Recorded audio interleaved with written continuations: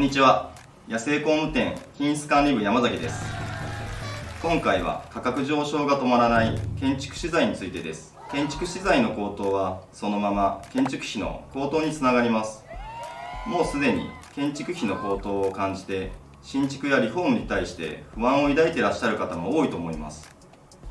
建築費がどこまで上昇するのかと不安を感じ楽しみにしていた家づくりなのに予算オーバーになったり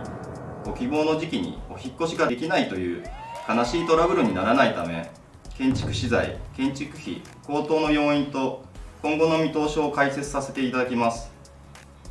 参考にしていただければ嬉しいです。最後までご視聴よろしくお願いいたします。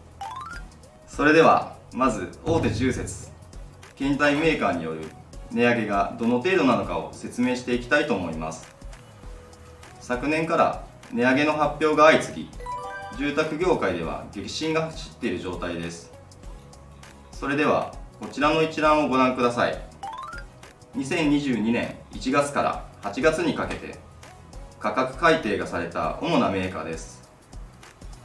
各メーカー1%から最大39%値上げしています。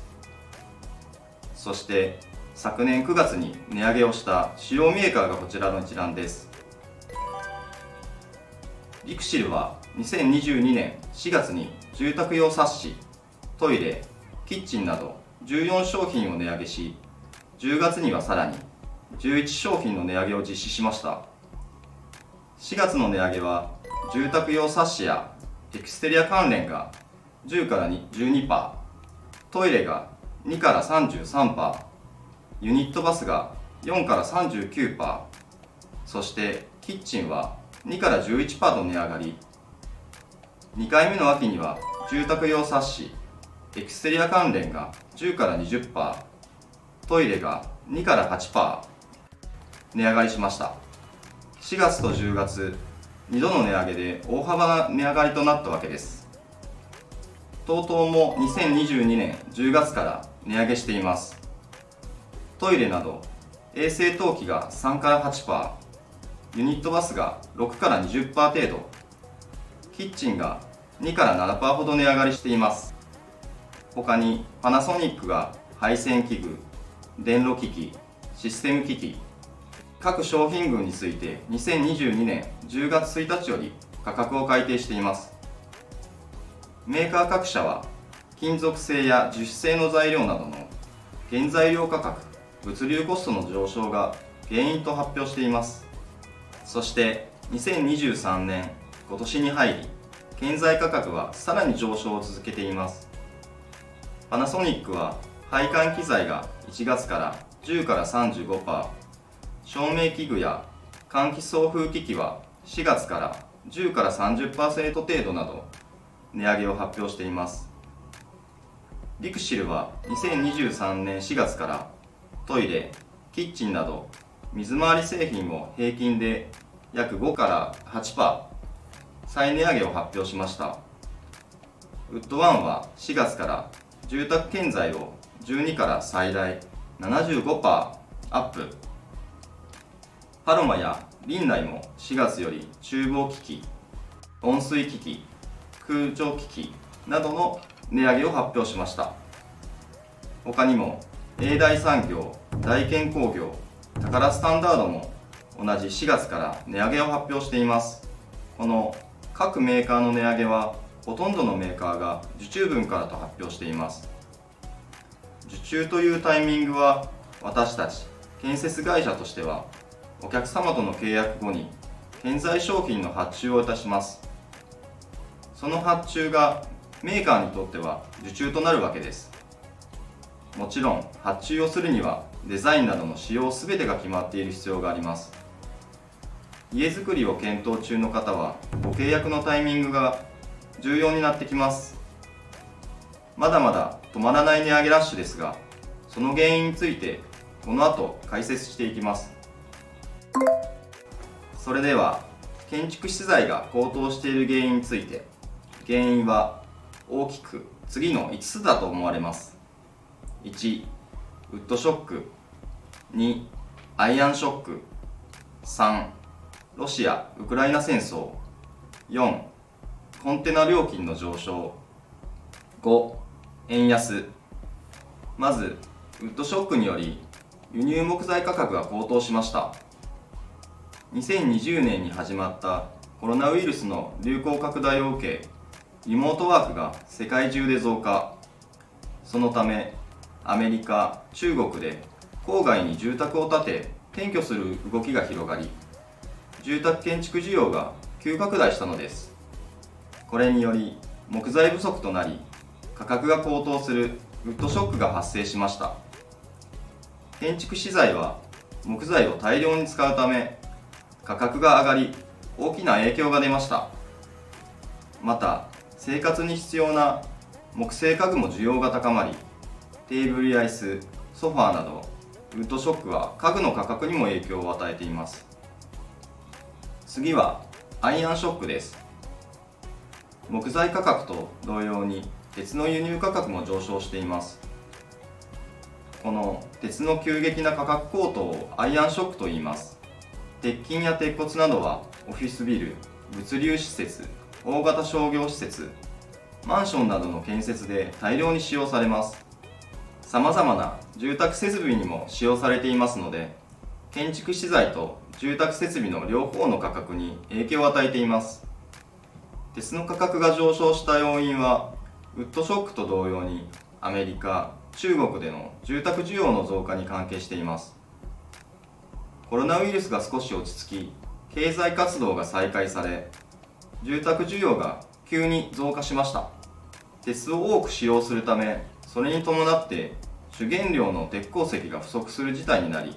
価格高騰を引き起こしています。日本は鉱物資源の多くを輸入に頼っています。鉄鉱石については100%輸入に依存している状態です。世界的な供給不足により価格高騰の影響を受けても輸入に頼るしかないため建築資材の高騰からは逃れられないのです。そして次にロシア・ウクライナ間での戦争が要因で発動されたロシアへの経済制裁も建築資材高騰の要因の一つになっています。日本を含め多くの国が経済制裁のため資源大国であるロシアから建築資材に関連する多くのものを輸入できない状態になりました。世界中の国がロシア以外の国から資源を輸入すると世界中の資源価格は高騰していきます。日本は高騰した価格で資源を買わなければいけないので輸入価格が高い状態で購入しているのが現状です。政府が決定したロシアからの輸入禁止項目に木材チップ丸太短パンなど住宅資材が含まれています。特に影響があるのが短パンです。日本がロシアから輸入する短パンの量は短パン全体の80%を超えていました。短パンにおいてはロシア1カ国からの輸入にほとんど頼っていますのでこうして木材の需要と供給のバランスが崩れ価格への影響が出てしまっています。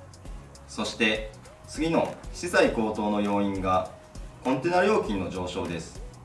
コロナウイルスの蔓延が原因となりコンテナ不足になったことによりコンテナ料金が上がっています。一見するとこれがなぜ資材価格の高騰につながるのかと思われるかもしれません。原因はステイホームやリモートワークが広がったことにより物流の動きが活性化しすぎたことです。人が動かず物のみが大量に動くことになりコンテナ不足に陥ったのです。住宅需要が高まり関連する資材設備などを運ぶコンテナが不足すると運送などの物流価格が上がります。その上がった分の金額は資材価格の値上げに影響を与え最終的には住宅価格の値上げにつながっていきます。最後の要因ポイントは円安です。2022年に入ると円安が加速し一時的に1ドル150円台まで円安ドル高の状態が進行しました。円安になると輸入時に費用が増えるのでこれまでよりも仕入れ価格が高くなります。日本は鉄鉱石も含め建築資材の多くを輸入に頼っているため円安も建築資材高騰の要因なのです。昨年末から少し円高に進んでいるとはいえ資材高騰を抑えるまでにはなかなか困難な状況かと思います。以上のウッドショックアイアンショックロシア・ウクライナ戦争コンテナ料金の値上げそして円安の5つが建築資材高騰の大きな原因と考えられます。さてでは今後の見通しですがアメリカの CPI は7ヶ月連続で鈍化しています。アメリカは前年同月比6.4%上昇しています。EU については9.2%インフレ沈静化に兆しが見えてきているとはいえまだまだ高い水準で継続しています。物の値段は上がり続けると言ってもいいような気がします。日本は長らく物価が上がらないことに慣れすぎたかもしれません。今後は直近1年のような急激な高騰はなくても継続的な値上げは続くのではないかと予想します。むしろ収まる気配がないからこそすぐにでも家づくりのご相談をご依頼していただくことをお勧めします。今回は建築資材の高騰について解説させていただきました。建築資材の要因は簡単には解決できない世界的な要因が複合的に左右しているため建築資材建築費の高騰がいつまで続くのかは断言できない状況です。社会情勢による建設費の高騰は家づくりをご検討の方にはとても重要な問題だと思います。しかし他にも大切なことはたくさんあります。もちろんそれはお客様一人一人異なりますがどのようなライフスタイルを送りたいのかなど家づくりの目的目標をより具体化し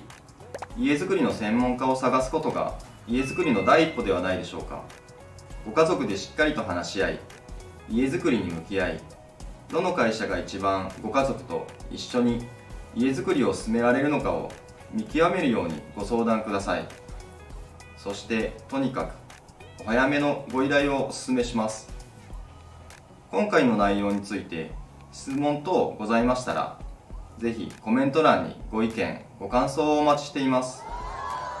そしてチャンネル登録高評価よろしくお願いします。それではまた次の動画でお会いしましょう。さようなら。